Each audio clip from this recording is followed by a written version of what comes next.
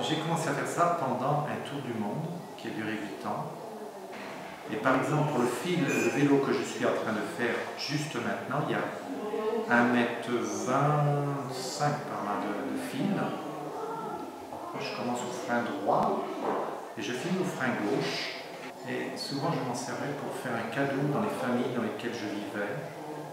Et parfois, je les vendais sur la rue, mais ça me servait aussi beaucoup lorsque nous faisions du stop avec ma femme. Eh bien, j'avais toujours quelque chose à offrir aux gens quand ils nous prenaient en stop. Moi, je trouve que la première langue internationale qui existe, c'est le travail manuel.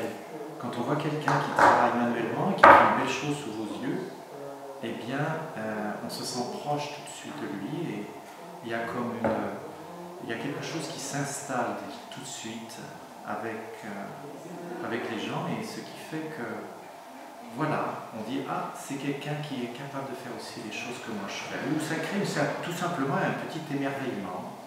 Donc je dirais que ces petits vélos, c'est comme une petite parcelle de bonheur.